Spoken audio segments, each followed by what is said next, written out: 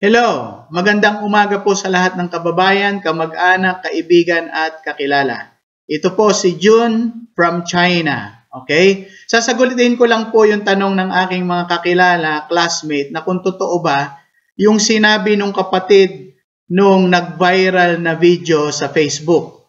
Yung warning or paalala nung kapatid sa lahat ng sambayan ng Pilipino. No? So sasagutin ko po at bilang kami po ay naandito rin sa China at sasabihin namin kung talagang totoo ba yung kumalat na yon. Ano po? So ngayon po ay April 20, 2020. At makinig po kayo dito mga kababayan ko, kaibigan, kakilala at sa lahat ng nakikinig. Yung pong pinost po nung merong kapatid sa China, 100% na totoo po. Ulitin ko po, 100% na totoo.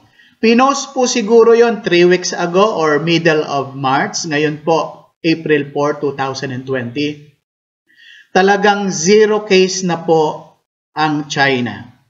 Sabi niya, galing siya dun mismo sa may virus, malawa, malamang Wuhan po yon Ano po? At sabi niya, bit, uh, mga January daw nag-start. Pero sabi ng mga kaibigan namin dito, police, mga doktor, at saka po yung may mga katungkulan sa gobyerno, nag-start po yan between siguro mga August to January. Pasok pa rin po yung sinasabi ng kapatid nung kababayan natin.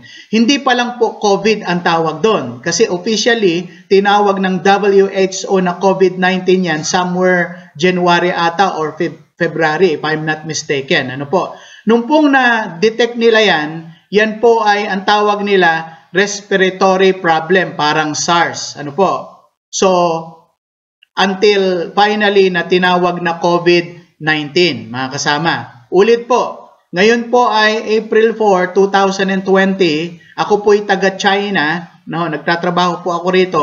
Ang layo po namin sa Wuhan, siguro po Pilipinas to Hong Kong, magbali, uh, magbiyahe kayo ng eroplano mga labing limang ulit. Siguro po, ganun kalayo. Pero dito po sa amin, nagkaroon ng virus din. Konti lang naman, pero ngayon zero na. Okay, mga kasama. So, lahat po nung sinabi nung nag-viral, kapatid nung nasa Facebook, totoo po lahat yon mga kasama. So, three weeks or more na pong walang virus dito, mga kasama. At yung sinasabi niya, na ang mga tao dito sa China ay hindi nag-aalkohol?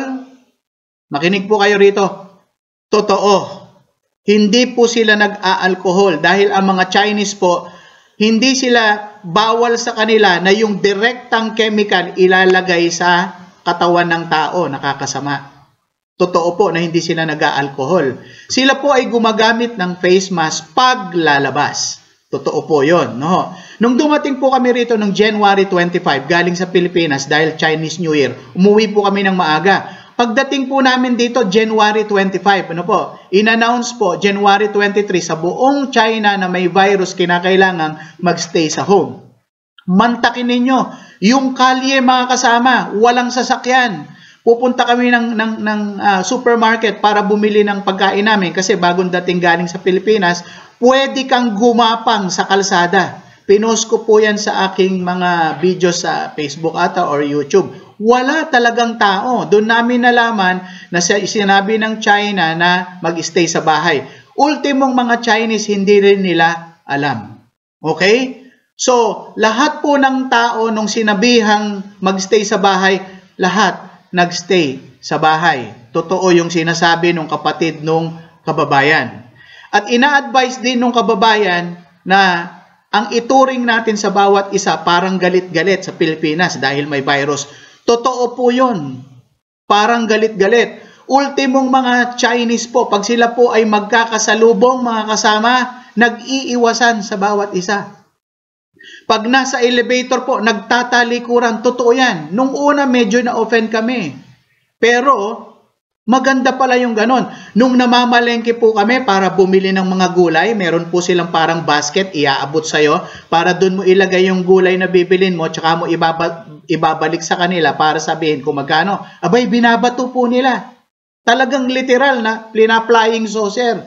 Kasi naglalagay sila ng distance mga kasama. Okay? So, totoo po na hindi sila nag-alcohol, nagpe-face mask sila pero may distansya. Okay? Totoo rin yung sinasabi ng kababayan na ang tanging sikreto ay hugas ng kamay. Yan po ang ikinakalat dito sa mga citizens dito na maghugas ng kamay, mga kasama. Okay? So kami po, pag namamalengke, pag lumabas, mga kasama, okay? So pagbalik po namin, antimano, ligo ng mainit na tubig. Lahat po ng aming damit, laba agad. Yung chinelas, paaarawan sa labas, siguro kahit 4 hours. Okay? Palit ng damit. Okay? So, totoo po yan.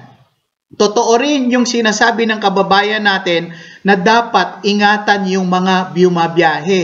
Huwag kayong lalapit doon or iwasan ang biumahe. Bakit? Sa Hong Kong po, bumaba na ang case eh. Diba? Nasa balita yan. Kaso, nung nag-uwi na yung mga Hong Kongese from different parts of the world, tumaas na naman sa Hong Kong.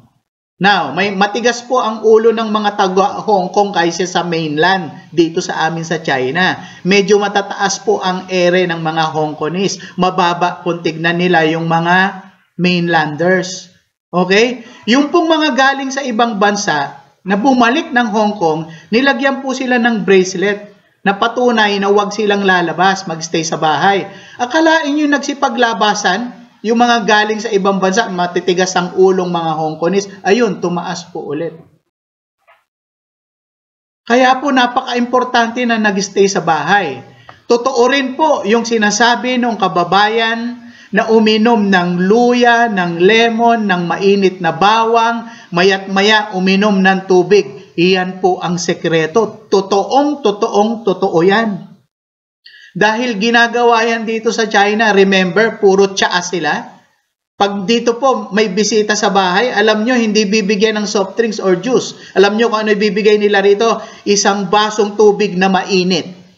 Sa atin, puro matamis. Ganun po ang practice nila. Puro tsaa, puro mainit, kaya ang tiyan nila flat at saka sila po ay slim. Para patunayan ko yung sinasabi ng kababayan natin na totoo yung uminom ng luya, mainit na tubig, lemon, and everything, nagkaroon po kami ng sipon tsaka ubo ng asawa ko. Nandito kami sa China. Anong unang mararamdaman mo? Tama ka, matatakot. Alam nyo ginawa namin, nag-iinom kami ng luya, bawang, lemon, mainit na tubig, buong magdamag, buong maghapon. Nawala po ang aming ubo at saka sipon. Okay? Sa lahat ng bumabati ko sa China, kung sila man ang may kasalanan, di natin alam. Kasi, sinong magpapatunay na sila may kasalanan? May nagsasabi naman, galing daw sa US. Di po ba? Laging sinasabi ko, isa lang alam ko para po maging uniform tayo. Ang may kasalanan yan, ang kaaway ng Diyos, ang demonyo or satanas. Totoo pong zero case na po dito, lalo sa lugar namin. Sa Wuhan, maaring meron pa. Pero take note mga kasama, uulitin ko. Sa 1.8 billion na Chinese, magkaroon ng single digit na may case na magagamot at makukontrol din naman nila. Paano mo i-consider yon? Eh di zero na. 1.8 billion, gaano karami yon?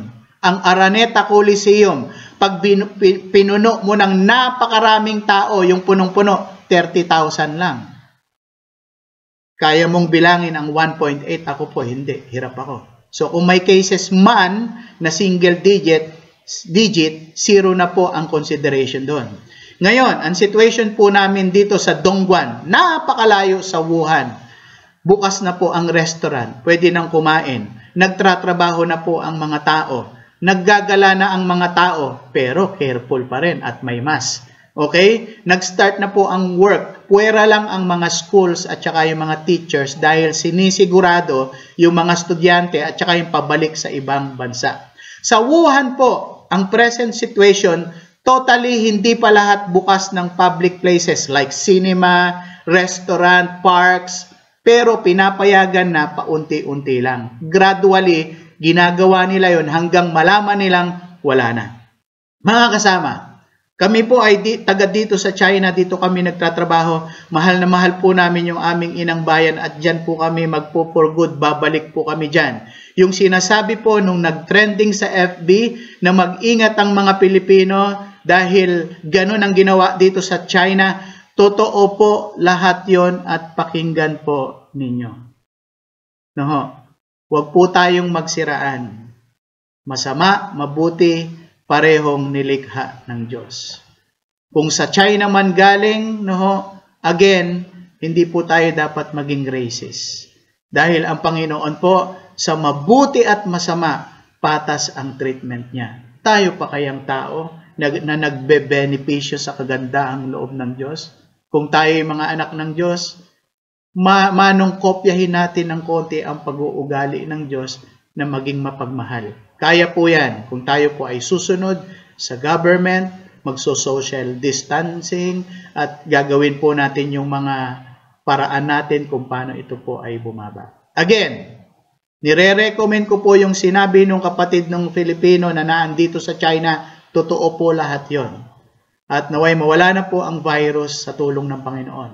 Magandang umaga po sa inyong lahat and God bless you.